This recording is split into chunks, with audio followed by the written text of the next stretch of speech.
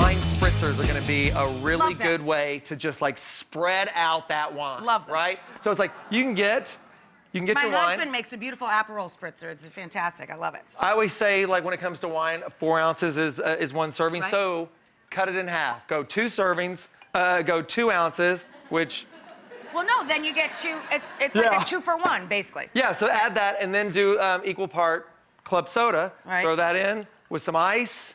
A little ice I got right here. a little ice. Make a little And then you could, like, if you wanted to, you could add a little lime juice, a little cranberry juice, a splash of that, little A splash. splash of juice. And here's the deal.